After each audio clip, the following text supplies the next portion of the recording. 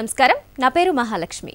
ప్రస్తుత తరుణంలో వ్యవసాయ రంగం ఎదుర్కొంటున్న ప్రధాన సమస్యలైన వాతావరణ మార్పులు అధిక పెట్టుబడులు మరియు కూలీల కొరతలను అధిగమించి రైతులు అధిక దిగుబడులు సాధించడానికి అవసరమయ్యే పంటల సాగులో యాంత్రీకరణ ఆధునిక శాస్త్ర సాంకేతిక పరిజ్ఞానం శాస్త్రవేత్తలు సూచించే మేలైన యాజమాన్య పద్ధతులను రైతులకు ఎప్పటికప్పుడు తెలియజేస్తున్న నాకోటి రత్నాల మాగాణి కార్యక్రమానికి స్వాగతం సుస్వాగతం.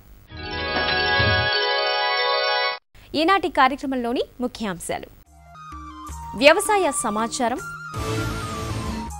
నేటి వాతావరణ సూచనలు. మార్కెట్ ధరలు. పెసర మినుములో సస్యరక్షణ. క్యాబేజీ మరియు క్యాలీఫ్లవర్లో సస్యరక్షణ. జీవాల్లో పారుడు రోగం నివారణ. ముందుగా వాతావరణ ఆధారిత వ్యవసాయ సలహాలు. భారీ వర్షాలు కురిసిన ప్రాంతాలలో వర్షాధార పంట పొలాల్లో నుండి మురుగునీటిని తీసివేయాలి. నేలలో సరైన మోతాదులో తేమ ఉన్నందున యాసంగి వేరుశెనగ మరియు ఆముదం పంటలను నీటి పారుదల కింద విత్తుకోవాలి. ప్రస్తుత వాతావరణ పరిస్థితులలో వరిలో బ్యాక్టీరియా ఎండాకు తెగులు సోకుటకు అనుకూలం. తొలిదశ వ్యాప్తి నివారణకు మురుగునీటిని తీసివేసి పాయింట్ నాలుగు గ్రాముల అగ్రిమైసిన్ లేదా పాయింట్ రెండు గ్రాముల ప్లాంటోమైసిన్ మందును ఒక లీటరు నీటికి కలిపి పిచికారీ చేయాలి. ప్రస్తుత వాతావరణ పరిస్థితులు వరిలో తాటాకు తెగులు మరియు కాంటం తొలచు పురుగు ఆశించుటకు అనుకూలం. పురుగు మరియు తెగులు గమనించినట్లయితే నివారణకు తాటాకు తెగులుకు రెండు మిల్లీమీటర్ల ప్రోఫినోఫాస్ లేదా రెండు పాయింట్ ఐదు మిల్లీలీటర్ల క్లోరిఫైరిఫాస్ మందును లీటరు నీటిలో కలిపి పిచికారీ చేయాలి. కాండం తొలుచు పురుగు నివారణకు పది కిలోల కార్బోఫూరాన్ త్రీ జీ గుళికలు లేదా నాలుగు కిలోల ఫోరేట్ గుళికలను నాటిన పదిహేను నుంచి ఇరవై రోజుల తర్వాత ఎకరా పొలంలో వేసుకోవాలి. ప్రస్తుత వాతావరణ పరిస్థితులు వరిలో సుడిదోమ ఆశించుటకు అనుకూలం. నివారణకు పాయింట్ నాలుగు గ్రాముల డైనోటెఫ్యూరాన్ మందును లీటర్ నీటికి కలిపి మొక్కల మొదళ్ళు తడిసేలా పిచికారీ చేయాలి. ప్రతి ప్రస్తుత మేఘావృతమైన ఆకాశం ప్రత్తిలో గూడు మరియు పూత రాలుటకు అనుకూలం. నివారణకు రెండు మిల్లీలీటర్ల ప్లానోఫిక్స్ మందును పది లీటర్ల నీటికి కలిపి పది రోజుల వ్యవధిలో రెండుసార్లు పిచికారీ చేయాలి.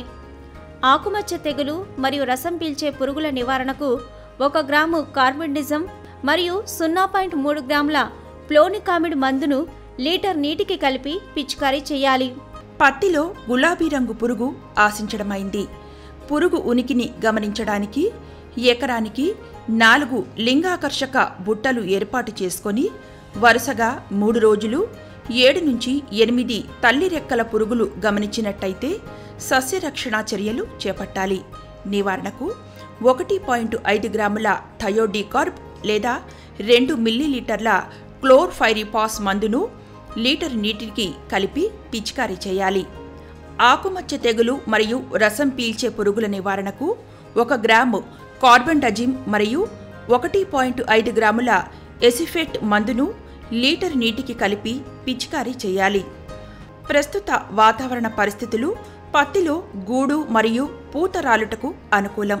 నివారణకు రెండు మిల్లీలీటర్ల ప్లానోఫిక్స్ మందును పది లీటర్ల నీటికి కలిపి పది రోజుల వ్యవధిలో రెండుసార్లు పిచికారీ చేయాలి. ప్రస్తుత వాతావరణ పరిస్థితులు కందిలో పైటోప్తోరా ఎండు తెగులు ఆశించటానికి అనుకూలం. తెగులు గమనించిన చోట నివారణకు మూడు గ్రాముల కాపర్ ఆక్సిక్లోరైడ్ మందును ఒక లీటర్ నీటికి కలిపి మొక్క మొదళ్ళను పూర్తిగా తడిపి తెగులు వ్యాప్తి నివారించుకోవాలి. ఆకుమచ్చ తెగులు నివారణకు ఒక గ్రాము కార్బన్ డజిమ్ మందును లీటరు నీటికి కలిపి పిచికారీ చేయాలి. కూరగాయ పంటలలో రసం పీల్చే పురుగులు గమనించినట్టయితే నివారణకు రెండు మిల్లీలీటర్ల డైమిథోయేట్ లేదా ఒకటి పాయింట్ ఐదు గ్రాముల ఎసిఫేట్ లీటర్ నీటికి కలిపి పిచికారీ చేయాలి. ప్రస్తుత వాతావరణ పరిస్థితులు కూరగాయల పంటలలో ఆకుమచ్చ తెగులు సోకుటకు అనుకూలం. తెగులు నివారణకు ఒక గ్రాము కార్బండజిమ్ లేదా ఒక మిల్లీ లీటరు ప్రొపికోనజోల్ మందును లీటర్ నీటిలో కలిపి పదిహేను రోజుల వ్యవధిలో రెండుసార్లు పిచికారీ చేయాలి. ప్రస్తుత వాతావరణ పరిస్థితులు కోళ్ళలో కొక్కెర తెగులు గొర్రెలలో చిటుకు మసూచి వ్యాధి మరియు పీపీఆర్ ఆవులు మరియు గేదెలలో గొంతు వాపు వ్యాధి గొంతు మరియు గాలికుంటు వ్యాధి సోకుటకు అనుకూలం. వీటి నివారణకు టీకాలు వేయించాలి. ఇప్పుడు ప్రస్తుత వాతావరణ సూచనలు. గడిచిన మూడు రోజులలో రాష్ట్రంలో అక్కడక్కడ భారీ వర్షాలు మరియు చాలా చోట్ల తేలికపాటి నుండి ఓ మోస్తరు వర్షాలు కురిశాయి. పగటి ఉష్ణోగ్రతలు ఇరవై మూడు నుంచి ముప్పై మూడు డిగ్రీల సెల్సియస్ మరియు రాత్రి ఉష్ణోగ్రతలు ఇరవై నుంచి ఇరవై ఐదు డిగ్రీల సెల్సియస్గా నమోదయ్యాయి. హైదరాబాద్ వాతావరణ కేంద్రం వారు అందించిన సమాచారం ప్రకారం రాబోవు ఐదు రోజులలో రాష్ట్రంలో కొన్ని చోట్ల తేలికపాటి నుండి ఓ మోస్తరు వర్షాలు కురిసే సూచనలున్నాయి. మరియు ఆ తర్వాత అక్టోబర్ నాలుగు నుండి పది వరకు సాధారణ వర్షపాతం నమోదయ్యే సూచనలున్నాయి. పగటి ఉష్ణోగ్రతలు ఇరవై తొమ్మిది నుంచి ముప్పై ఐదు డిగ్రీల సెల్సియస్ మధ్య మరియు రాత్రి ఉష్ణోగ్రతలు ఇరవై ఒకటి నుంచి ఇరవై ఐదు డిగ్రీల సెల్సియస్ మధ్య నమోదు కావచ్చు. మార్కెట్ ధరల సమీక్ష ఇప్పుడు మీకోసం. ఈ రోజు మార్కెట్ ధరలు. వరి తిరుమలగిరిలో కనిష్ట ధర పన్నెండు వందల ఇరవై రూపాయలు గరిష్ట ధర పదిహేను వందల తొమ్మిది రూపాయలు. కేసముద్రంలో కనిష్ట ధర పదహారు వందల తొమ్మిది రూపాయలు గరిష్ట ధర రెండు వేల రెండు వందల డెబ్బై ఒక్క రూపాయలు. వరంగల్లో కనిష్ట ధర పదిహేను వందల యాభై ఒక్క రూపాయలు గరిష్ట ధర పదిహేను వందల అరవై ఐదు రూపాయలు. పత్తి జమ్మికుంటలో కనిష్ట ధర నాలుగు వేల ఆరు వందల రూపాయలు. గరిష్ట ధర నాలుగు వేల ఏడు వందల యాభై రూపాయలు. కేసముద్రంలో కనిష్ట ధర మూడు వేల యాభై రూపాయలు. గరిష్ట ధర నాలుగు వేల ఏడు వందల అరవై రూపాయలు. ఖమ్మంలో కనిష్ట ధర మూడు వేల ఐదు వందల తొంభై రూపాయలు. గరిష్ట ధర నాలుగు వేల ఏడు వందల అరవై ఐదు రూపాయలు. కంది చొప్పదండిలో కనిష్ట గరిష్ట ధరలు ఆరు వేల మూడు వందల ఎనభై రెండు రూపాయలు. ఖమ్మంలో కనిష్ట ధర ఆరు వేల నాలుగు వందల రూపాయలు గరిష్ట ధర ఆరు వేల ఐదు వందల డెబ్బై ఐదు రూపాయలు వరంగల్లో కనిష్ట ధర ఆరు వేల నాలుగు వందల అరవై ఆరు రూపాయలు గరిష్ట ధర ఆరు వేల ఆరు వందల యాభై రెండు రూపాయలు. తెలంగాణ రాష్ట్రంలో వానాకాలంలో పండించే అపరాల పంటలలో కంది తరువాతి స్థానం పెసర మినుము పంటలదే. మంచి ఆహారపు విలువలతో కూడిన ఈ పప్పు దినుసులకు మార్కెట్లో ఉన్న మంచి గిరాకీ దృష్ట్యా అనేక మంది రైతులు పెసర మినుము పంటలను సాగు చేస్తున్నారు. అయితే సెప్టెంబర్ అక్టోబర్ మాసాల్లోని అధిక వర్షపాతం తేమ వాతావరణ పరిస్థితులకు దాదాపు తొమ్మిది రకాల పురుగులు పది రకాల తెగుళ్ళు ఈ పంటలను ఆశించే అవకాశం ఉంది. పెసర మినుము పంటలలో తొలి దశల నుంచి వివిధ దశల్లో వచ్చే వివిధ రకాల పురుగులు తెగుళ్ళు వాటి నివారణ గురించిన పూర్తి వివరాలు ఇప్పుడు తెలుసుకుందాం. మన రాష్ట్రంలో చూసుకున్నట్లయితే వానాకాలంలో పండించే అపరాల్లో పెసర మినుము తర్వాత కంది ముఖ్యమైనవి. ఇప్పుడు ఉన్న ప్రసెంట్ వాన వా- వానాకాలంలో పెసర మినుము సస్యరక్షణ చూసుకున్నట్లయితే మనకు దాదాపుగా పురుగుల విషయంలో తొమ్మిది రకాల పురుగులు అదేవిధంగా తెగులు చూసినట్లయితే పది రకాల తెగులు కూడా వచ్చే అవకాశం ఉంది. మనం పురుగులు చూసుకున్నట్లయితే పైరు తొలి దశలో అంటే మనకి విత్తనం వేసిన తర్వాత పది నుంచి పదిహేను రోజులలో రెండు ఆకుల దశల్లో చిత్తపురుగులను ఆశించడం జరుగుతూ ఉంటుంది. ఈ చిత్తపురుగులు ఆకులపై గుండె రంధ్రాలు చేసి పంటను నష్టపరుస్తూ ఉంటాయి. ఒకవేళ మా పంటపై ఎనభై శాతం పైన ఎక్కువ నష్టం కలిగించినట్లయితే మనం రసాయనాలతో పిచికారి చేసి ఈ పురుగుని మనం తగ్గించుకునే అవకాశం ఉంది. దానికి కానీ మనం క్లోరోపైరిపాస్ అనే మందు లీటర్ నీటికి రెండు పాయింట్ ఐదు మిల్లీలీటర్లు లేదంటే మోనోక్రోడ్రాఫాస్ అనే మందుని ఒకటి పాయింట్ ఆరు మిల్లీ లీటర్లు లీటర్ నీటి కలిపి పిచికారి చేసుకున్నట్లయితే తొలి దశలో ఆశించే ఈ చిత్త పురుగుల నుంచి మనం పంటను కాపాడుకోవచ్చు. తర్వాత దశలో మనం పురుగుల విషయంలో చూసుకున్నట్లయితే మనకి ఆశించే పురుగులు లద్దె పురుగులు. ఈ లద్దె పురుగులు వచ్చేసి మనకు అందులో ముఖ్యంగా మనకి గమనించదగ్గ లద్దె పురుగు ఏంటంటే పొగాకు లద్దె పురుగు.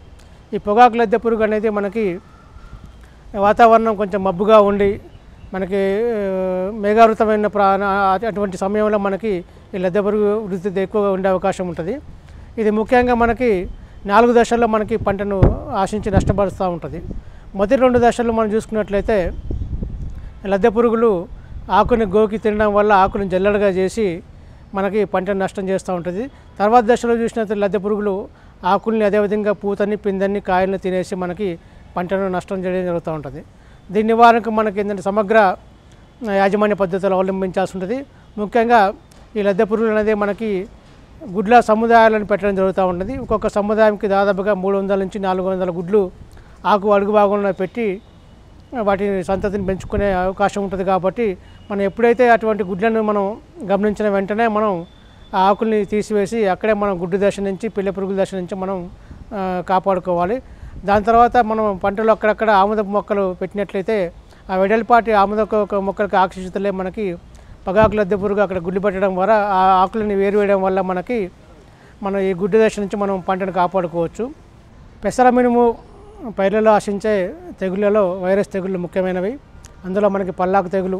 ఈ పల్లాకు తెగులు అనేది మనకి సమగ్ర యాజమాన్యం ద్వారా మనం నివారించుకోవచ్చు. అందుకుగాను తట్టుకునే రకాలు ఎంపిక చేసుకోవడం అదేవిధంగా విత్తన శుద్ధి చేసుకోవడం అదేవిధంగా పంట చుట్టూ రక్షక పంటలుగా సజ్జ జొన్న మొక్కజొన్న లాంటి పైర్లు వేసుకోవడం అదేవిధంగా తెల్లదోమను ఆకర్షించేటువంటి పసుపు రంగు అట్టాలు కానీ పసుపు రంగు డబ్బాలు కానీ లేదంటే పసుపు రంగు మనం ఆ, గ్రీజ్తో కానీ లేదంటే జిగురుతో పూయించి అంటించుకోవడం చేసుకోవాలి. దాని తర్వాత మనకి తెల్లదోమ నివారణకి రసాయనికలైనటువంటి రసాయనికమైనటువంటి కానివ్వండి లేదంటే ఎస్టామి ప్రిడిపాన్ కానివ్వండి లేదా థయోమిదెక్స్ అనే మందులు పిచికారి చేసుకొని ఈ వైరస్ని మనం నివారించుకోవచ్చు.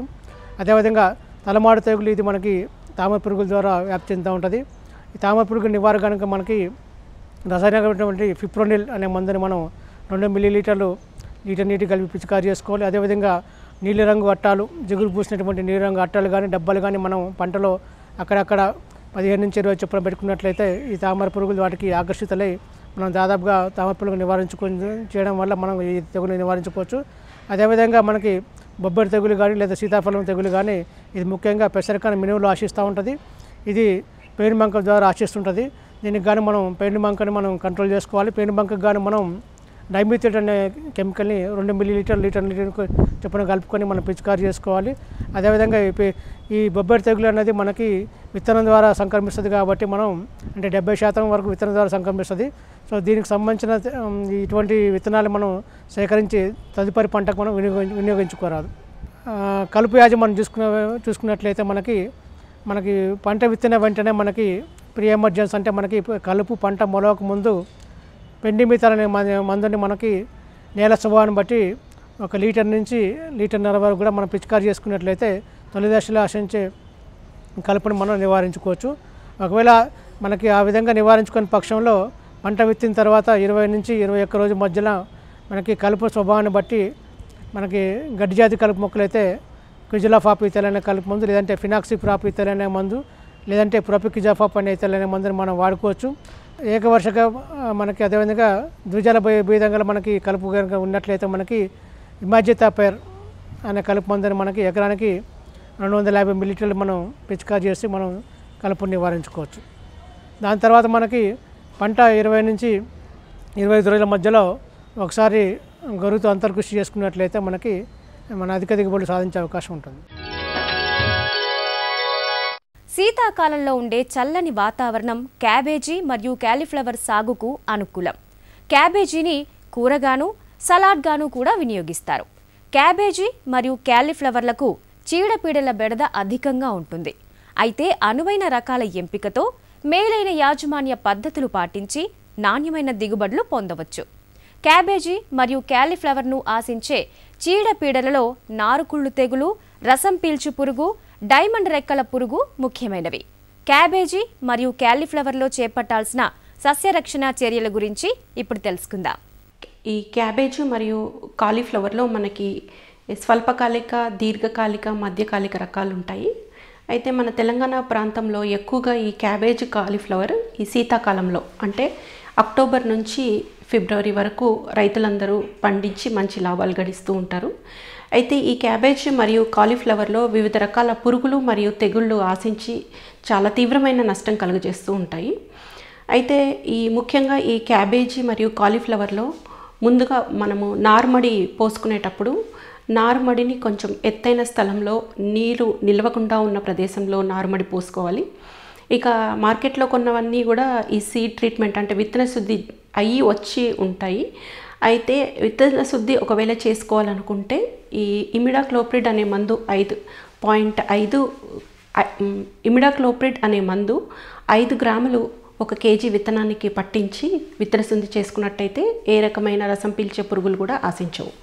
అదేవిధంగా ఈ క్యాబేజ్ మరియు కాలీఫ్లవర్లో ఈ నల్ల తెగులు మొదలగిన తెగుళ్ళు ఆశించి నష్టం కలుగజేస్తాయి. అయితే ఈ క్యాబేజ్ మరియు కాలీఫ్లవర్లో ఈ తెగుళ్ళ నివారణకు ఈ థైరం కానీ క్యాప్టన్ కానీ మూడు గ్రాములు కేజీ విత్తనానికి పట్టించి మనం విత్తన శుద్ధి చేసుకున్నట్టయితే ఆరోగ్యవంతమైన నారు మనకి వస్తుంది. ఇకపోతే మనకి నారుమడిలో మనకి రసం పీల్చే పురుగులు మరియు ఈ రెండు పంటల్లో మనకి డైమండ్ రెక్కల పురుగు అనేది బాగా తీవ్రంగా ఆశించి నష్టం కలుగజేస్తుంది. అయితే దీని నివారణ కోసం మనము ఈ డైమిథేట్ అనే మందు రెండు మిల్లీలీటర్లు లీటర్ నీటికి కలుపుకొని మనము ఈ నారుమడిలో పిచికారీ చేసుకోవాలి. ఇక ప్రధాన పొలం విషయానికి వస్తే మనకు ముందుగా ఎక్కువగా మనకు బాగా సమస్యగా వచ్చే పురుగు అంటే డైమండ్ రెక్కల పురుగు. ఈ డైమండ్ రెక్కల పురుగు ఈ క్యాబేజ్లోను కాలీఫ్లవర్లను ఆకుని మొత్తం తింటూ ఉంటుంది. ఇది చాలా చిన్న పురుగు. కాకపోతే ఆకులను తర్వాత వచ్చిన ఈ పువ్వులను అన్నిటినీ కూడా తినేసి తీవ్రమైన నష్టం కలుగజేస్తుంది. ఒక్కొక్క సమయంలో ఈ క్యాబేజీ పువ్వులో ఒక్కొక్క పువ్వులో దాదాపు ఇరవై నుంచి ఇరవై ఐదు పురుగులు ఉండే అవకాశం ఉంటుంది. అయితే ఈ డైమండ్ రెక్కల పురుగుని మనం నివారించుకోవటానికి మనము బీటీ సంబంధిత బ్యాసిల్లస్ తురింజెన్సిస్ అనే మందు ఒక గ్రాము లీటర్ నీటికి చొప్పున మనం పిచికారీ చేసుకోవాలి. ఒకవేళ ఈ డైమండ్ రెక్కల పురుగు తీవ్రత ఎక్కువగా ఉన్నట్టయితే నోవాల్యూరన్ అనే మందు ఒక మిల్లీ లీటర్ లీటర్ నీటికి కలుపుకొని పిచ్చక పిచికారీ చేసుకున్నట్టయితే ఈ డైమండ్ రెక్కల పురుగును నివారించుకోవచ్చు. ఇకపోతే ఈ ఈ క్యాబేజీలో మనము పంట వేసుకునేటప్పుడే మనము ఒక ఇరవై ఐదు వరుసలకు రెండు వరుసల ఆవ పంటను వేసుకున్నట్టయితే ఈ క్యాబేజీని ఆశించే పురుగులన్నీ కూడా ఈ ఆవ పంటను ఆశించి ఈ క్యాబేజీలో పురుగులు తక్కువగా ఉండే అవకాశం ఉంటుంది. అదేవిధంగా ఈ క్యాబేజీ చుట్టూ కూడా మనకి క్యా చైనీస్ క్యాబేజ్ అనేది మార్కెట్లో లభిస్తుంది. అయితే క్యాబేజీ పంట చుట్టూతా కూడా మనం చైనీస్ క్యాబేజ్ పంటను రెండు వరుసలు కానీ వేసుకున్నట్టయితే మన క్యాబేజ్ పంటను పురుగుల నుంచి మనము నివారించుకోవచ్చు. ఇకపోతే మనకు క్యాబేజీ పంటలో ఈ రసం పీల్చే పురుగుల్లో మనకి పేనుబంక అంటే అఫిడ్స్ అనేవి కూడా బాగా ఎక్కువగా ఆశించి నష్టం కలుగు చేస్తాయి అయితే వీటిని నివారించుకోవడానికి ఫిప్రోనిల్ అనే మందు రెండు మిల్లీ లీటర్లు లీటర్ నీటికి కలుపుకొని పిచికారీ చేసుకోవాలి. ఇక క్యాబేజీ మొత్తం మనకు తయారైన తర్వాత మనకు క్యాబేజీ గడ్డ మీద మనకి ఎక్కువగా ఈ క్యాబేజ్ తల తొలిచే పురుగు తర్వాత ఈ లద్దె పురుగులు ఇవి బాగా తీవ్రంగా నష్టం కలుగజేస్తూ ఉంటాయి. అయితే వీటిని నివారించుకోవడానికి మనము ఫ్లూబెండమైడ్ అనే మందు పాయింట్ మూడు మిల్లీ లీటర్ల నీ లీటర్ నీటికి కలుపుకొని పిచికారీ చేసుకోవాలి. ఇకపోతే లద్దె పురుగు విషయానికి వస్తే మనం మార్కెట్లో ఈ లింగాకర్షక బుట్టలు లభిస్తూ ఉంటాయి. అది ఎకరానికి నాలుగు నుంచి ఐదు చొప్పున అమర్చుకోవాలి. ఆ తర్వాత ఈ ట్రైకోగ్రామా బదికి బదినికలను ఒక ఇరవై వేల గుడ్లను ఒక ఎకరాకి చొప్పున మనం అమర్చుకున్నట్టయితే ఈ లద్దె పురుగును కూడా మనము నివారించుకోవచ్చు. ఇక తెగుళ్ళ విషయానికి వస్తే మనకు నారుమడిలో మనకి ఈ నారుకుళ్ళు తెగులు వస్తుంది. దాన్ని నివారించుకోవడానికి మనం కార్బనజిమ్ అనే మందు మూడు గ్రాములు లీటర్ నీటికి కలిపి మనం పిచికారీ చేసుకున్నట్టయితే ఈ నారుకుళ్ళు తెగుల్ని మనము నివారించుకోవచ్చు. ఈ విధంగా మనం క్యాబేజీలో కాలీఫ్లవర్లో సరైన సమయంలో ఈ సస్యరక్షణ పద్ధతులు సమగ్ర సస్యరక్షణ పద్ధతులను చేపట్టినట్టయితే మంచి దిగుబడిని ఆశించవచ్చు. వ్యవసాయ అనుబంధ రంగంగా మెట్ట ప్రాంతంలో విస్తరిస్తోంది జీవాల పెంపకం. రైతులు తమకున్న మేత వనరులను అనుసరించి జీవాల పెంపకం చేపట్టాలి. శీతాకాలంలో జీవాల్లో సోకే అంటువ్యాధులలో పారుడు రోగం ముఖ్యమైనది. పారుడు రోగం జీవాల్లో ప్రాణాంతకమైన వ్యాధిగా పరిగణించవచ్చు. పారుడు రోగం సోకిన జీవాలు సరిగ్గా మేత వేయకుండా నీరసించిపోతాయి. ఈ వ్యాధి లక్షణాలు కనిపించిన జీవాలను ఆరోగ్యవంతమైన మంద నుంచి వేరు చేయాలి. ఈ వ్యాధి నివారణకు ముందుగా టీకాలు వేయించాలి. జీవాల్లో పారుడు రోగం లక్షణాలు నివారణకు చేపట్టవలసిన చర్యలను ఇప్పుడు తెలుసుకుందాం. చిన్న జీవాలలో అంటే గొర్రెలలో మేకలలో పారుడు రోగం. పారుడు రోగం అంటే మరి చిన్న జీవాలు గొర్రెలు మేకలు విపరీతంగా పారుకోవడాన్ని చిన్న పారురోగం అంటారు దీన్నే పెస్టిస్ పెటిడ్స్ ఇన్ రుమినెంట్స్ అంటే చిన్న జీవాలలో నాలుగు అరల పొట్టలు ఉన్న జీవాలలో వచ్చే వ్యాధినే దీన్నే పెద్ద రోగం అని కూడా అంటారు. గోట్ ప్లేగ్ అని కూడా అంటారు. మరి ఈ వ్యాధి పేరామిక్సో వ్యా వై- జాతికి చెందిన వైరస్ వల్ల అంటే సూక్ష్మాతి సూక్ష్మ క్రిమి వల్ల వస్తుంది. ఇది చాలా అంటువ్యాధి తీవ్రమైన వ్యాధి. మరి చిన్న జీవాలకు ఒకసారి సోకినట్టయితే మరి గొర్రెల కాపరి నష్టపోయే అవకాశం ఉంది.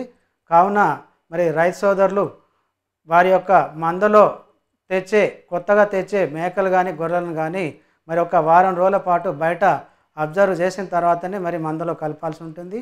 మరి ఈ వైరస్ సోకినట్టయితే మరి వచ్చే లక్షణాల గురించి ఇప్పుడు తెలుసుకుందాం. ముఖ్యంగా ఈ వైరస్ సోకిన చిన్న జీవాలు మరి ఎక్కువగా మరి జ్వరం చాలా విపరీతంగా వస్తుంది. నూట నాలుగు నుండి నూట ఎనిమిది డిగ్రీల ఫారెన్హీట్ వచ్చే అవకాశం ఉంది. మరి ఈ వ్యాధి ఎక్కువగా చిన్న జీవాలు అంటే గొర్రె పిల్లలు మేక పిల్లలు మూడు నెలల పైబడ్డ పిల్లలు మరి ఏడాది వయసున్న పిల్లలకు మాత్రం ఎక్కువగా సోకుతుంది. మరి జ్వరం వచ్చిన మూడు నాలుగు రోజుల తర్వాత విపరీతంగా మరి పారుకుంటాయి. పారుకోవడం అంటే విరోచనాలు ఉంటాయి. ఈ విరోచనాలు మరి ఇంకొక రే రోజు రెండు రోజులు ఆగినట్టయితే రక్త విరోచనాలుగా మారుతాయి. అలాగే నల్లగా కూడా మారి మరి చాలా విపరీతమైన బ్యాడ్ స్మెల్ అంటే చెడు వాసన వస్తుంది. అలాగే మరి సోకిన గొర్రెలు కానీ మేకలు కానీ చిన్నపిల్లలు కానీ శ్వాసకోశాలు కూడా దెబ్బతింటాయి. మరి విపరీతమైన దగ్గు వస్తుంది. మరి చిన్న జీవాలు మొత్తం మూలుగుతూ ఉంటాయి మందులో.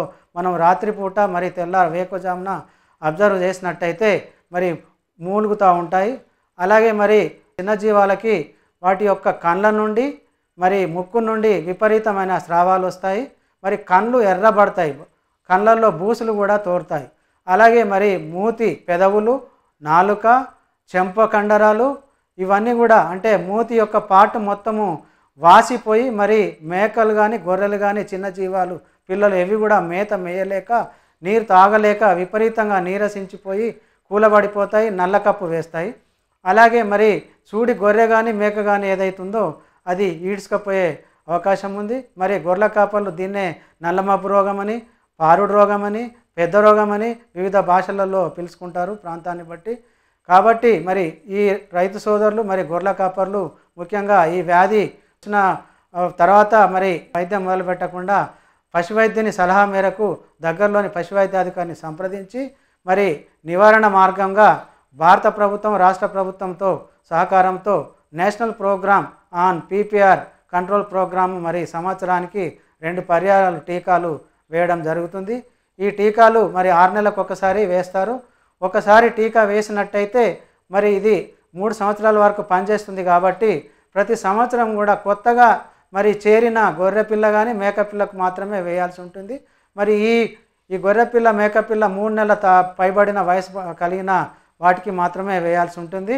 ఒకసారి వేస్తే మూడు సంవత్సరాల ఇమ్యూనిటీ అంటే నిరోధక శక్తి వస్తుంది కాబట్టి ప్రతి సంవత్సరం కూడా మరి రాష్ట్ర ప్రభుత్వం కేంద్ర ప్రభుత్వ సహకారంతో మరి ఆగస్టు మాసంలో మరి మార్చి ఫిబ్రవరి మాసంలో రెండు పర్యాలు వేస్తూ ఉన్నారు.